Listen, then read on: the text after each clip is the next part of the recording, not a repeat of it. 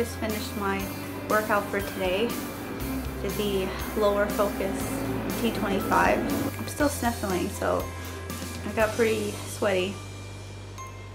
I just wanted to give a little update because last video I said I might have taken pictures or updated you on my cleanse. So the best place to do that is my Facebook page.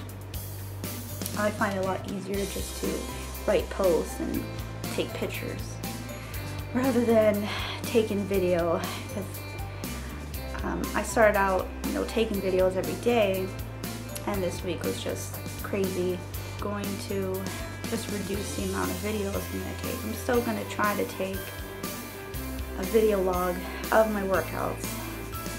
So that's all I have for you today and I hope you've been enjoying my journey so far. Alright, so I will catch you later. Bye.